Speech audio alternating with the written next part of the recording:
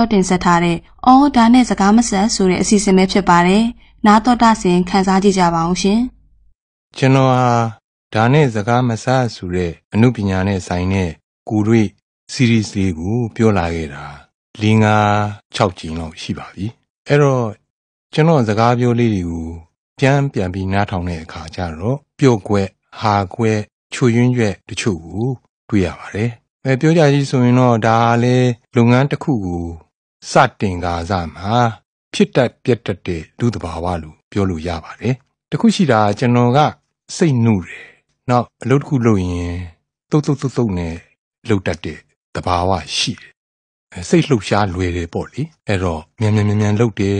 တွတ်တွတ်လက်လက်လုပ်တယ်ဆိုတဲ့သဘောဖြစ်သွားတာဖြစ်နိုင်ပါတယ်အလော30ပေါ့လေအလော30အဲဒါနဲ့စကားမဆက်ပြောရရင်အလော30ဆိုတဲ့ဝါဟာရစကားပေါ့လေကြားဖြတ်ပြောပြရစီ ကျွန်တော်တို့နေ့စဉ်နဲ့အမျှအထူးသဖြင့်လူကြီးတွေပေါ့ပြောတယ်အလော30အလော30ပြာရာခတ်တာပေါ့နော်ပြာရာခတ်ပြီးလုတ်တာကင်တတ်တဲ့သဘောကိုပြောတာပါဒါပေမဲ့တစ်ချိန်ကပညာရှင်တယောက်ကကျွန်တော်ကိုအမှတ်မထင်ပြောဘူးတာလေဘုဟုတအဖြစ်ပြန်ပြောချင်တာပါဟုတ်မဟုတ်ကတော့ဒါသောတာရှင်တို့အနေနဲ့စဉ်းစားကြပေါ့ဗျာဒုတယောက်ဟာကွယ်လွန်ကနီးသေဆုံးကနီးပေါ့လေမာဇောငါးတန်ပြန်တတ်တယ်တဲ့နော်ဇောဇောပြန်တာပေါ့လေဒီကနီး ဇောပြန်တယ်ဒီပထမဦးဆုံးဇောနဲ့နောက်ဆုံးနံပါတ်5ဇောကနည်းနည်းညင်တာတယ်တဲ့ပထမဆုံးပြန်တဲ့ဇောရဲ့ဒီကနီးပြန်တဲ့ဇောရဲ့ကနည်းနည်းသိမ်မွေ့ညင်တာတယ်တဲ့အလေကောင်သုံးဇောကဖြက်ဖြက်လူခံရတယ်တဲ့အဲ့ဒါကြောင့်အလေသုံးဇောအလော30တူရှိတူကြီးတွေကခေါ်တာလို့ဆိုပါတယ်ဟုတ်မဟုတ်တော့မသိဘူးပေါ့လေဒါကစကားမဆက်ပြောတာအဲ့တော့ကျွန်တော်ကအလော30လောက်တတ်တဲ့သဘာဝရှိတဲ့အတွက်ကြောင့်စောစောကပြောသလို ဒီအစပိုင်းမှာနည်းနည်းစိတ်လှုပ်ရှားတဲ့အလျောက်ကျွန်တော်ရဲ့အပြောအဆိုတွေသွက်သွားတာလေပါကောင်းပါပါလိမ့်မယ်ဘာပဲဖြစ်ပေါ့လေဘယ်လိုဖြစ်သလဲဆိုတော့ပညာပိုင်းဆိုင်ရာအမှုပညာရေးပိုင်းဆိုင်ရာပေါ့လေပြောနေရင်းနဲ့အဲ့ဒီမှာပဲရုပ်ရှင်ကနေဂီတရောက်လူရောက်ဂီတကနေစာပေရောက်လူရောက်စာပေမှာပဲဘာသာပြန်ကနေပြီးတော့ဝတ္ထုရောက်လူရောက်ဖြစ်သွားတာလေးတွေကျွန်တော်တောင်းပန်ပါတယ်နော်နောက်ပိုင်းတော့ကျွန်တော်တဖြည်းဖြည်းချင်းခွဲပါမယ်ခွဲပါမယ်ဆိုတာတော့မှအခု စစချင်းမှာပဲကျွန်တော်ဂီတကိုဇောင်းပေးလာတာတွေ့ကြရမှာပါအဲလိုစောစောကပြောသလိုပေါ့လေကျွန်တော်ဂီတအကြောင်းတွေကိုဇောင်းပေးပြောလာရင်းနိုင်ပါပဲတခါတလေကြတော့ကျွန်တော်ကို့အကြောင်းကိုပြောတာများသွားတတ်တယ်တခါတလေကျတော့ပညာရဆိုင်ရာတွေကိုစောင်းပြီးပြောတာများသွားတယ်သို့တော်လည်းကျွန်တော်သတိထားပါတယ်ကျွန်တော်အကြောင်းကျွန်တော်ပြောနေပြီမဲ့လို့အဲ့ဒီထဲမှာပဲအတွေ့အကြုံလေးတွေကပညာရဆိုင်ရာပေါ့လေနော်ဘက်ကိုတိမ့်သွားတတ်တယ် တခါတလေကျတော့ပညာရဆိုင်ရာတွေပြောရင်ညာနေပြီးတော့ပဲကျွန်တော်အတွေ့အကြုံဘက်ကိုတိမ့်သွားတာတွေရှိပါတယ်ဒါတွေဟာအထူးသဖြင့်ဒီနေ့လူငယ်တွေအတွက်ယူတတ်ရင်ရလိမ့်မယ်လို့ကျွန်တော်ယူသားစွာပြောလိုပါတယ်ကောင်းပါပြီကျွန်တော်ရဲ့ပြီးခဲ့တဲ့အပတ်ကနော်စကားကိုပြန်ဆက်ရလို့ရှိရင်ကျွန်တော်ဟာလေတော့အပြန်ဆိုတဲ့သချင်းလေးနဲ့မြမအတန်ကောင်းမှုနဲ့ကျွန်တော်အကူရဲ့ကောင်းမှုနဲ့ကျွန်တော်ဟာမြမတန်ဂီတလောကတွေကိုစတင်အခြေချခဲ့ရတာပါကောင်းပါပြီ အဲ့ဒီအချိန်တုန်းကမြမအတန်ကိုသောတာရှင်တွေကအားကိုးနေရတယ်လို့တပြိုင်နက်မှာပဲကက်ဆက်တီပေါ်နေပါပြီဒါပြခက်ကကုန်သွားပါပြီအဲ့တော့ကက်ဆက်ကူလည်းကျွန်တော်တို့ကအားကိုးရပါတယ်အခုခေတ်လို CD စသဖြင့်မပေါ်သေးပေါ့လေ TV လည်းမပေါ်သေးပါဘူးဆိုတော့အားကိုးရတယ်ဆိုတော့ကက်ဆက်လိုင်းကိုဝင်မှုဟာလေကျွန်တော်တို့မှာဟိုအရေးကြီးပါတယ်ဆိုတော့ဘယ်ပုံပဲနည်းဝင်ရမယ်ဆိုတာကျွန်တော်ကမသိပါဘူးအဲ့ဒီအချိန်မှာခစ်စားနေတာကပူပြီးခစ်စားနေတာပေါ့လေ မြန်မာတန်ထက်နည်းနည်းလေးပူပြီးရှေ့ရောက်နေတာကအဲ့ဒီခစ်ကအခေါ်ပေါ့နော်လူကြီးတွေအခေါ်စတီရီယိုဆိုတဲ့အနောက်တိုင်းဂီတကိုမြင်ညမ်းပြုတ်တယ်မြန်မာတီးတာနေနော်အဲ့ဒါတွေခစ်စားနေတဲ့အချိန်ကျွန်တော်လဲဘာမှမလို့လဲလူငယ်ပဲအဲ့ဒီဘက်ကိုစိတ်တန်တာပေါ့လေသို့တော့ကန်တရားကကျွန်တော်ကိုမြန်မာတန်ဘက်ကိုပဲပို့လိုက်တာကိုပို့လိုက်တာမှစစချင်းကို အဲလေတော့အပြန်ဆိုတဲ့ခြေစင်းနော်သဖြံပေါ့ခွန်းတောက်ကလေးနဲ့စပြီးတော့မြိုင်တာနဲ့အစုံတက်တဲ့တချင်းနဲ့ပေါက်သွားတာပေါ့နော်ပေါက်သွားတဲ့သဘောဖြစ်သွားတော့ပြေးတက်ကလည်းအဲ့ဒီဘက်ကိုလိုက်လာတဲ့အခါကျတော့ကျွန်တော်ကန်တရားမြန်မာတန်စစ်စစ်ဘက်ကိုရောက်သွားတာကိုဒီအပြင်မှာကက်ဆက်ဘက်ကိုလမ်းပြောင်းမှုဖြစ်ပုံကဒီလိုဗျဒါဒီနေရာမှာလဲအဲဂျေဇူးတရားဖော်ထုတ်ရမယ်သဘောရှိပါတယ်တနေ့မှာကျွန်တော်ကကျွန်တော်အဖေနဲ့မော်တော်ကားပြင်နေတာ စုပ်ပြပေးရလို့ပေါ့ဗျာအဲ့ဒီအချိန်မှာတယ်လီဖုန်းလာတယ်ဆိုတော့သွားကင်တော့ဒီနေ့ကံတော်ဝင်အစူတော်ကြီးလို့ပြောနေကြတယ်ဦးမင်းနောင်အကူကြီးကိုမင်းနောင်ကြီးကဖြစ်နေတယ်သူကအေးတဲ့မင်းဗလာကြီးကိုကိုအိမ်လာစမ်းနဲ့ဆိုကိုကိုဆိုတာတခြားမဟုတ်ပါဘူးနော်ကွယ်လွန်သွားပြီဖြစ်တဲ့ဂီတစာစုတေးပြူဆရာကြီးနော်ဂီတလူလင်မောင်ကူကူခေါ်ဥကူကူပေါ့နော်ချစ်စနူးခေါ်တာကိုကူကိုကူအိမ်လာခဲ့စမ်းဆိုကျွန်တော်လည်းမငင်းပါဘူးချက်ချင်းပဲနော်ဒီဘေဘီရီနဲ့ရောက်သွားတဲ့အခါကျတော့ဟိုမှာတီးဝိုင်းနဲ့အစုံအလင်တွေ့ရပါတယ်။ အေးရောက် qua တဲ့စာရွက်တချင်းလေးချပေးမယ်ဆိုမြိုင်တာလေးချပြီးတော့ကျွန်တော်ကလည်းရသွားတယ်။သွားဆူစမ်းကွာဆိုသွားဆူလိုက်တယ်။ဆိုတော့ကျွန်တော်ဂီတလင်လူဦးကူကူတို့ဦးမင်းအောင်တို့စသဖြင့်ကိုတော့စတေရှိုးတွေမှာတွေ့ဖို့နေတော့သိပါတယ်။နော်အဲစောင်းတီးတဲ့အဖိုးအိုကြီးတယောက်ကိုတော့ကျွန်တော်မသိပါဘူး။သို့တော်လည်းကျွန်တော်ကဒီမြိုင်နာစသဖြင့်ကိုနားယင်နေတာပေါ့လေ။နားယင်နေတယ်ဆိုတာလဲစကားမစပြောရလို့ရှိရင်အဲလက်ထပ်သင်ပေးထားတဲ့ဇာမရှိပါဘူးကျွန်တော်မှာ နော်ကျွန်တော်လည်းတကူးတကန်သင်ယူထားတာမရှိပါဘူးဒါကျွန်တော်ယူယူသားသားဝန်ခံတာပါအဲကျွန်တော်မှာအဲ့ဒီမတိုင်ငင်ငယ်ဘဝကကျေးဇူးရှိခဲ့တာအဖေရဲ့အမေရဲ့ကျွန်တော်ရဲ့အဖေရဲ့အမကြီးတော်ကြီးရဲ့အဓိကအဖေနဲ့ကြီးတော်ကြီးနားအင်မတန်လေးတာဦးဂျပန်ခေတ်ဘုံနေချတော့ဒံပေါ့နော်အင်မတန်လေးတော့အဲ့ဒီသူတို့ခေတ်တုန်းကရေဒီယိုတဆုံး volume တင်ထားပြီးတော့ အိမ်ထဲတွေမကတချံလုံးကြားအောင်အကျယ်ကြီးဖွင့်ပြီးတော့နားထောင်တာအဲ့တော့သူတို့ခေတ်ကလွှင့်တဲ့တချင်းကြီးတွေအဲ့ဒီမြိုင်တာစတဲ့တချင်းတွေခေဟောင်းနေနော်အဲ့ဒီခေတ်ကပေါ်တဲ့မြန်မာတန်တချင်းတွေကနားမဆန့်အောင်ကြားရတော့အလူလူနားနဲ့ကျွန်တော်ကလေ့ကျင့်ပြီးသားဖြစ်နေတာနော်အမေကလည်းမဟာဂီတ ဆရာကြီးဦးပြုံးချူရဲ့ကြောင်းတွဲဆိုတော့မာဂီတကျွမ်းတော့ညညကျွန်တော်တို့အိယာဝင်တဲ့အခါမှာချော့သိပ်တာနော်လူကလေးရဲ့အိတ်ချင်းတန်ပြိုင်းရှိကပြန်မဟုတ်ဘူးဗျာနော်ဘိုးမဝေးဘူးရောက်လူပါပြီညနောင်ကြီးသားကြီးနေသို့ထွန်းဆိုတဲ့တချင်းကြီးနဲ့ချော့သိပ်တာဗျအဲ့တော့လေကျွန်တော်နားရီကဝနေတာပေါ့ဆိုတော့စောစောကပြောသလိုမြိုင်တာဆိုတော့လေစူလက်စနဲ့စူချတော့လေတစ်ခေါက်သေးနဲ့ဝင်သွားတာပေါ့ဗျာနော် အံ့ဩစရာကောင်းတာဂီတလုံးနဲ့ဥကူကူတို့နဲ့ဒီဆရာကြီးတွေရှေ့မှာတစ်ခေါက်တည်းဝင်သွားတော့ချီးကျူးကြတာပေါ့ဗျာအဲ့ဒီမှာမှတ်မှတ်ရရစိုးစိုးကပြောတယ်စောင်းကောက်တီးနေတဲ့အဖိုးကြီးကမှန်ကားနဲ့ရထွက်လာရောအဲစကားမစပြောအောင်မယ်ကျွန်တော်နဲ့တွဲဖက်တီးဆိုတာကနော်အလွန်ဝါရင်နဲ့ A1 တင်တင်လာဆိုတဲ့အမကြီးဗျနော်ကံကောင်းတာများနော်ဂီတလင်းဥကူကူတို့နဲ့တွဲရတယ်ပြီးတော့မှန်ကားနဲ့ရလည်းထွက်လာရောစိုးစိုးကပြောတဲ့ စောင်းကောက်အဖိုးကြီးကဟေ့ကောင်လေးလာစမ်းกว่าဆိုခန့်ကောင်းကိုခေါ်တယ်ဗျခေါ်တော့ကျွန်တော်ကသူ့ရှိယူယူလေးသွားရက်တယ်အင်ကြီးကလည်းပေးရီလို့မင်းခုနကမှန်ကန်တဲ့တချင်းစုနေဖင်တပုတ်ပုတ်လုံနေတာဘာလို့တာတော့กว่าကျွန်တော်ကမဖြေရဲဘူးအမှန်ကတော့ဘာရင်မဟုတ်ဘူးဗျာတာမန်လူတွေလည်းတချင်းစုရင်ဖင်ပုတ်ကောင်းပုတ်လုပ်တာပဲကူနော်စီးလိုက်တယ်ခေါ်သလားဘာလားတော့မသိဘူးအဲ့လိုပဲပုတ်တာပေါ့ဗျာအဲ့တော့နောက်မှတ်ထားกว่าတယ်စီးဝါလိုက်ချင်ငါခြေတော့ကိုကြည်စမ်းတယ်သူကအဲ့လိုခန့်ကောင်းကဟောက်တာဗျ အေးနောက်မှသိရတယ်အဲ့ဒီဝိုင်းကိုဥဆောင်တီးနေတဲ့စောင်းကောက်ဆရာကြီးကအလင်္ကာကြိုးစွာဆရာကြီးစောင်းဥပတန်းတဲ့ဟောဘလောက်ကံကောင်းသလဲဗျာဒုတိယဆိုရတဲ့မြိုင်ဒမာအလင်္ကာကြိုးစွာဆရာကြီးစောင်းဥပတန်းနဲ့တွေ့ရတာဗျအဲ့ဒီသချင်းလေးကဘာဖြစ်တယ်လဲဆိုတော့စောစောကပြောတဲ့အကိုကြီးကိုမင်းနောင်တို့ဦးမမောင်ကြီးတို့ဒေါ်တင်နေမြတို့ဒေါ်ထားတို့ ਨੇ တွဲပြီးတော့ကြားညပ်ပြီးတော့ဇုံရွဲတပုတ်အဖြစ်ကက်ဆက်ပေါ်ကျွန်တော်ရောက်တော့ နော်ဖြစ်ချင်တော့နော်ရောက်လဲရောက်ကောအဲ့ဒီချိန်ကမြန်မာသားမှာခေစားနေတဲ့ဟင်းသာတီးတန်သွင်းကကျွန်တော်ကိုလက်ဆွဲဖြစ်သွားပါတယ်ဖြစ်သွားတော့သူကတယောက်သေးတော့မသုံးဘူးဗျဒီလိုပဲအစူတော်ကြီးတွေနဲ့ကြားညှပ်ပြီးတပုတ်တလေတပုတ်တလေဆိုပြီးတော့မြိုင်တာတို့တချင်းကြီးတို့ခေဟောင်းတို့ကျွန်တော်ကိုခေါ်သုံးပါတယ်အဲ့ဒါလိုကနေပြီးတော့ကျွန်တော်အတန်လေးလည်းနည်းနည်းပါးပါးဖြစ်လာရောဟောတကူတော့ထုံနေဖြစ်ပါလေရောဗျာဖြစ်တော့ကျွန်တော်ကအဲ့ဒီအချိန်မှာအေးဆူပါတယ် နော်ကျွန်တော်ကိုမြန်မာတန်နော်ခေဟောင်းစသဖြင့်လေလုတ်ပါ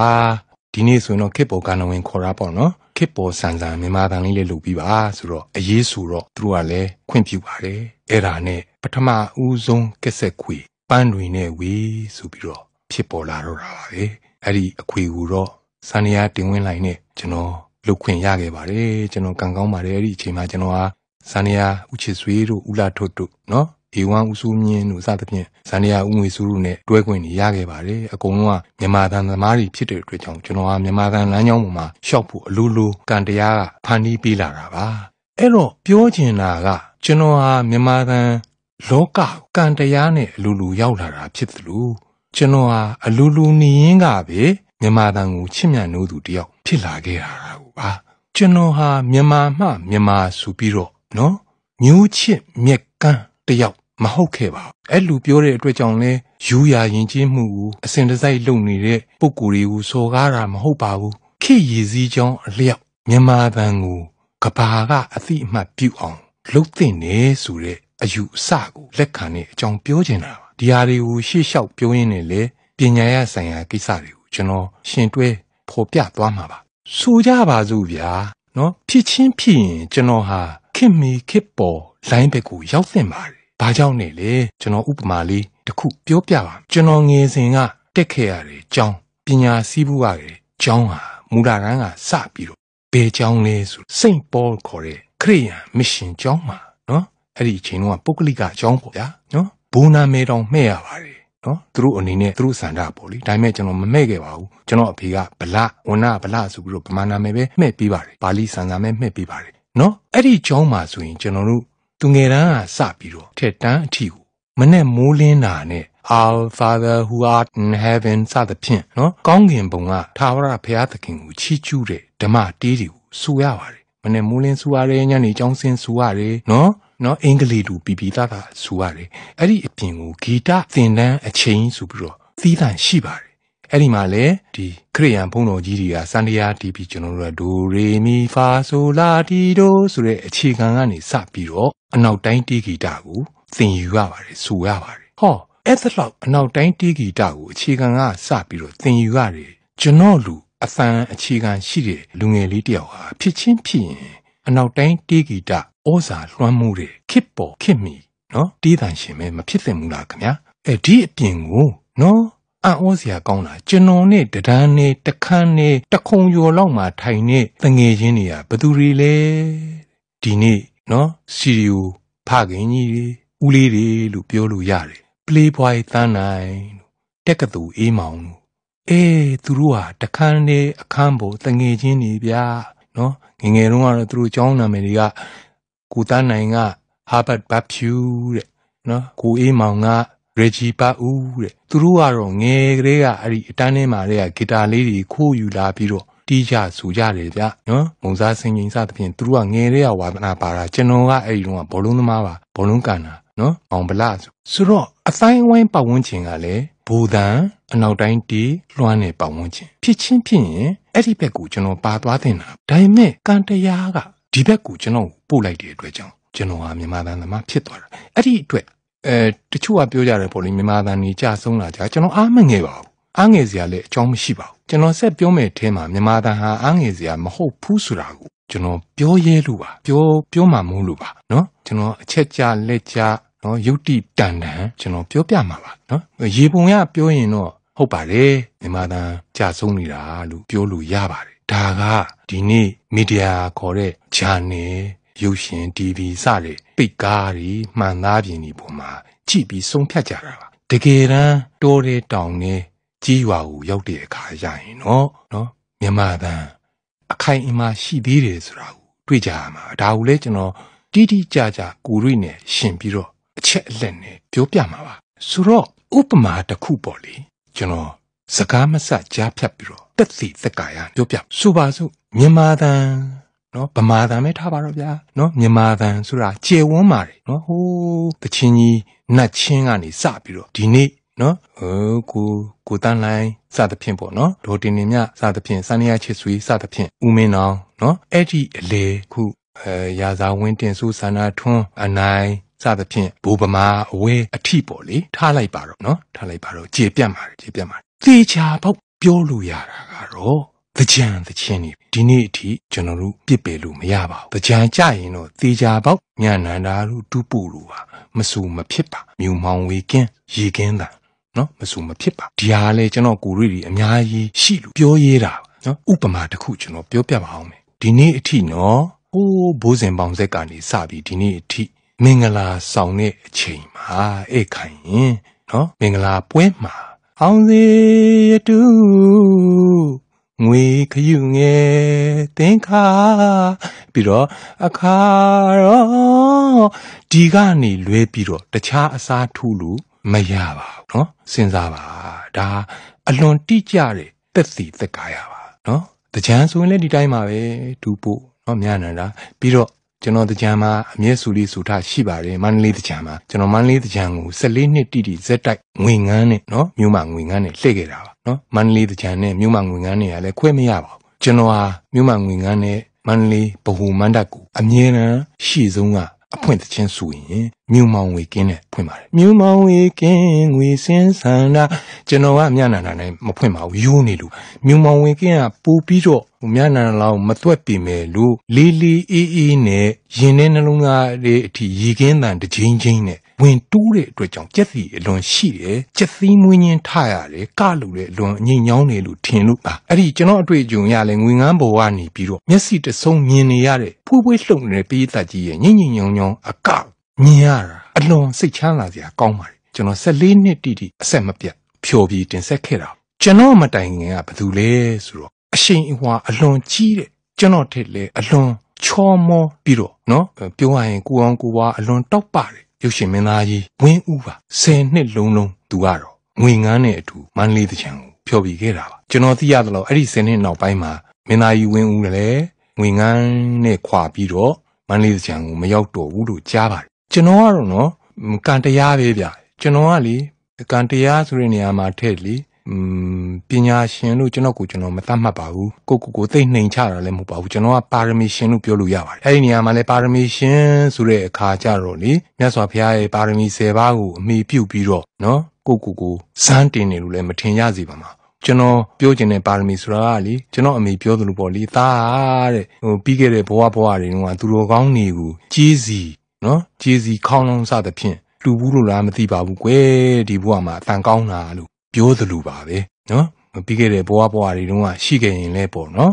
အဲ့ဒါလိုအဆန်နဲ့ပတ်သက်တဲ့ပစ္စည်းတွေလူပူးလို့တော့၎င်းဒီဘဝမှာလည်းငယ်စဉ်ဘဝငယ်စဉ်အချိန်တုန်းကဒီလိုပဲအဆန်နဲ့ပတ်သက်တဲ့ဒါနလေးတွေပြုဘူးလို့တော့၎င်းပေါ့လေအရွယ်ရောက်လာတဲ့အခါမှာအဆန်ပါရမီဒီနေ့အထိရှိနေတာလို့ထင်ပါတယ်ဒါကြောင့်ကျွန်တော်ကကျွန်တော်ပါရမီရှင်လို့ပဲသတ်မှတ်ပါတယ်နော်ဒါတိတ်ပြီးတော့ဂုံယူတဲ့သဘောလည်းမဟုတ်ပါဘူးနှိမ်ချတဲ့သဘောလည်းမဟုတ်ပါဘူးအဲ့တော့ကျွန်တော်ရဲ့ဘဝမှာလည်းအတွေ့အကြုံတွေကဟိုးပြီးခဲ့တဲ့ အပတ်ကပြောခဲ့သလိုပေါ့လေအဆူတော်ဖြစ်တာလဲမတော်တဆတိုက်ဆိုင်ပြီးတော့ခီးသွားဟန်လွဲဖြစ်ခဲ့တာအကက်ဆက်အဆူတော်ဖြစ်တော့တယ်ဒီလိုပဲနော်ရုတ်တရက်ကြုံရင်းဆုံရင်းဖြစ်သွားတာမြန်မာတန်အဆူတော်ဖြစ်တာလဲဒီလိုပဲမတော်တဆဖြစ်ခဲ့တာနော်နောက်ရုပ်ရှင်မင်းမင်းသားဖြစ်တာလဲကျွန်တော်နောက်ပိုင်းရုပ်ရှင်အကြောင်းရုပ်တော့ပြောပြပါမယ်မတော်တဆပါပဲနော်မတော်တဆပါပဲဒါလဲချိုးနေပြီးပြောတာမဟုတ်ပါဘူးလောကမှာဒီလိုပဲတိုက်ဆိုင်မှုတွေကရှိတတ်တယ်ဆိုတဲ့သဘောပြောတာပါအဲ့တော့မန္တလေးတကြံနဲ့တိုက်ဆိုင်တာဒီလိုပဲမတော်တဆပဲဗျကျွန်တော်က ရုပ်ရှင်ရိုက်သွားတာမန္တလေးရုပ်ရှင်ကကားတကားရုပ်ရှင်သွားရိုက်တာအဲ့တော့ရိုက်တော့ရုပ်ရှင်ရိုက်တဲ့အချိန်ကတကြံနာကရက်အဲရုပ်ရှင်ရိုက်ပြီးနားတဲ့အချိန်မှာဖြစ်ချင်တော့မန္တလေးမြို့မှာအသင်းကကျွန်တော်အတန်ကိုကြိုက်လို့ဆိုပြီးတော့အဲကျွန်တော်ပေါ်တန်ရုပ်စဉ်ဖြစ်တယ်ဖြစ်တော့တကြံနာကတ်တဲ့အချိန်မှာကျွန်တော်နဲ့လာတွေ့တယ်အဲဆိုင်ရင်တောင်းရင်ပြိုပါပေါ်လီတွေ့ရင်းနဲ့စကားစမီပြောရင်းနဲ့ကိုသူမောင်ကြီးဘိုလ်သူရေးတဲ့ဒီနှစ်တော့ငွေငန်းရက်နေတာကြာပြီပြန်လှည့်မယ်စိတ်ကူးတယ်တဲ့ ခမကြီးဝင်ဆိုပါလားဗျဆိုကျွန်တော်ကလည်းအေးကောင်းသားပဲဗျလွတ်ခနဲ့ပြောတာသဘောတော့ဗျာပုံဝင်နေနေဝေခံရရင်ခုအချိန်မှလည်းမရှက်တော့ပါဘူးမုံမုံယူယူနဲ့စွတ်ပြောတာဗျပြောလိုက်တော့သူတို့ကလည်းခေါင်းညှိပြီးတော့အဲသူတို့မန္တကားကြီးနဲ့မအိုလင်းဆင်ထားတဲ့ငွေငန်းဆင်ထားတဲ့မန္တကားကြီးနဲ့လာခေါ်ပါလေရောဗျာတကြံလဲကြောက်အဲ့ဒီမဲ့ဘာရင်မဟုတ်ဖ ೇನೆ တက်ဆူရင်းကနေ ဗမာတန်မြူမောင်ဝေကင်းကိုဆွဲပြီးတော့မန္တလေးပြည်တပ်ကိုဆွဲပြီးတော့အထူးသဖြင့်ကတော့ကိုဝင်းဦးလက်ထက်ကရွှေချီရင်းကြီးတွေရွှေဆွဲကြိုးကြီးရွှေလက်ကောက်ကြီးတွေတဝင်းဝင်းနဲ့နော်စပယ်ပန်းနေသစင်ပန်းနေဝေနေအောင်ပန်နဲ့အဖွာကြီးနော်40ကျော်50အဖွားကြီးတွေကကျွန်တော်စုနေတဲ့အခါမှာ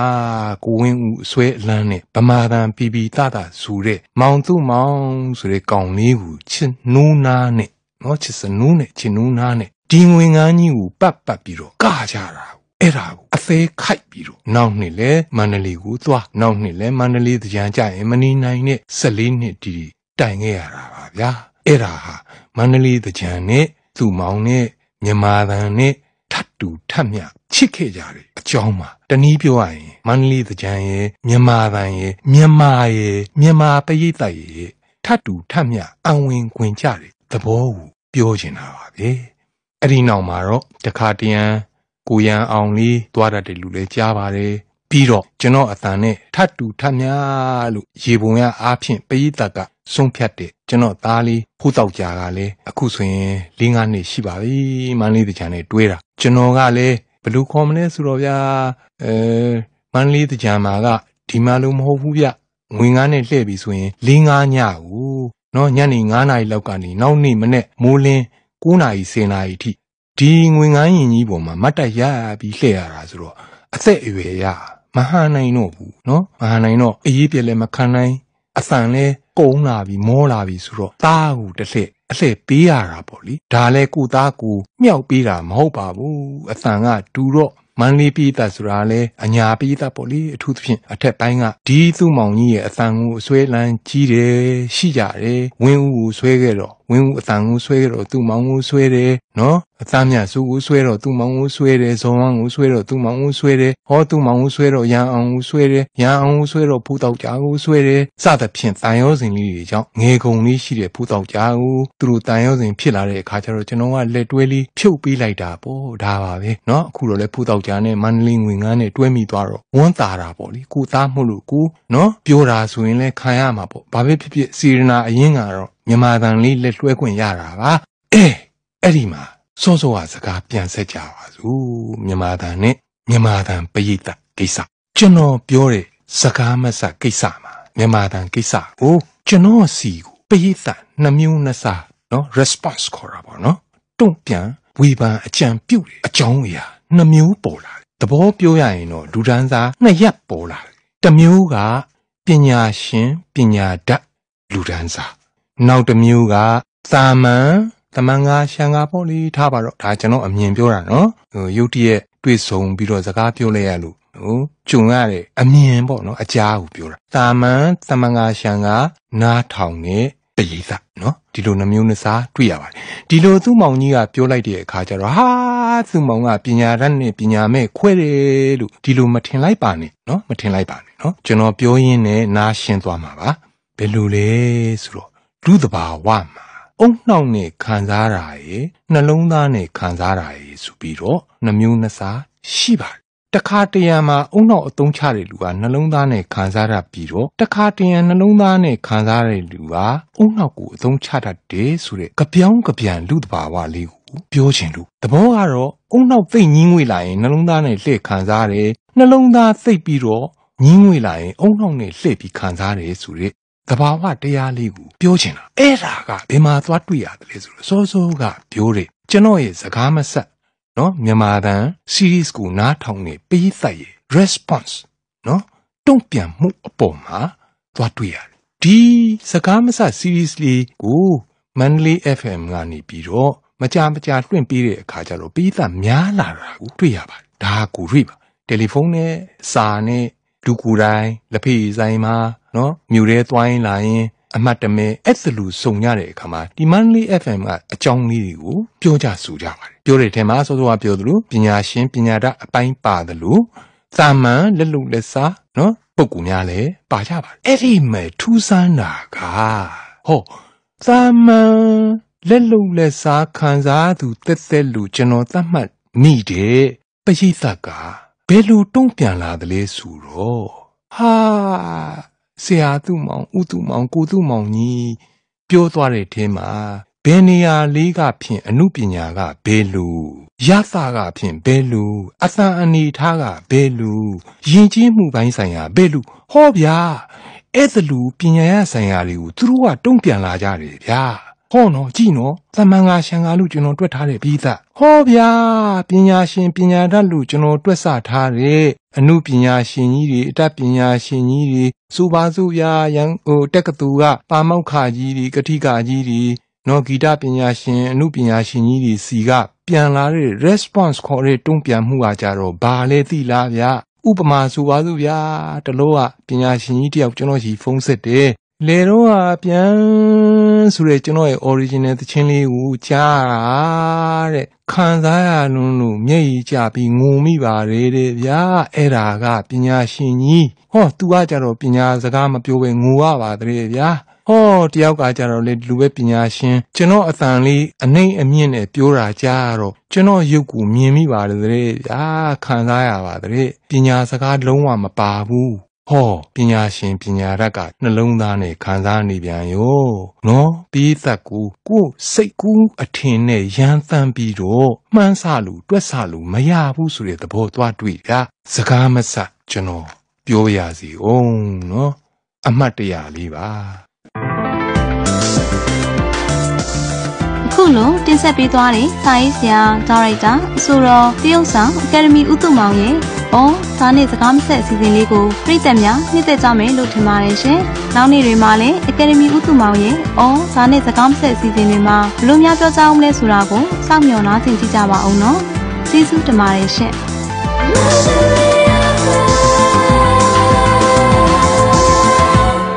ပရိသတ်များရှင် အော်တာနဲ့စကားမဆက်အစီအစဉ်ကနေဥတုမောင်ရဲ့စကားသံလေးတွေကိုပြန်လည်နားဆင်လာရတဲ့အတွက်ဥတုမောင်ရဲ့ပရိသတ်တရားအလွမ်းပြေနိုင်လိမ့်မယ်လို့မျှော်လင့်မိပါတယ်ကျေးဇူးတင်ပါတယ်ရှင်